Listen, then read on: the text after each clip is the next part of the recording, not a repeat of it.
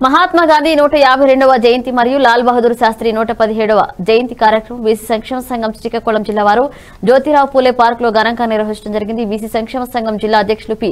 చంద్రపతిరావు అధ్యక్షతన జరిగింది. అధ్యక్షులు మాట్లాడుతూ మహాత్ముడు పోరాటం వలన స్వాతంత్ర్యం లభించిందన్నారు. అహింస అనే ఆయుధం ద్వారా ఉద్యమాన్ని నడిపారు.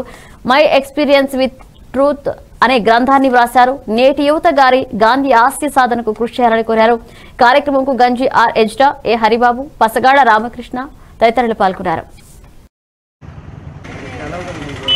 తోటనే ఆయన బ్రిటిష్ వాళ్ళ తాలూకా మనసును మార్చివేసి ఈ యొక్క దేశాన్ని స్వాతంత్రం తీసుకొచ్చాడు.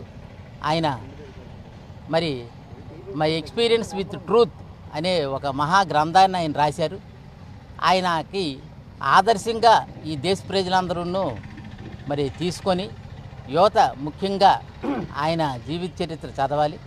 దాని తర్వాతను మరి బడుగు బలహీన వర్గాలకి మహాత్మా గాంధీ గారి కంటే ముందు మహాత్మా జ్యోతిరావు పులే చాలా సేవలు చేసి అంటరానితనాన్ని నిర్మూలన చేసి ఆయన సేవలు పొంది ప్రజలందరిచే మహాత్మా అనే బిరుదు జ్యోతిరావు పులే పొందారు. ఆయన తర్వాతను రవీంద్రనాథ్ ఠాగూర్ గారు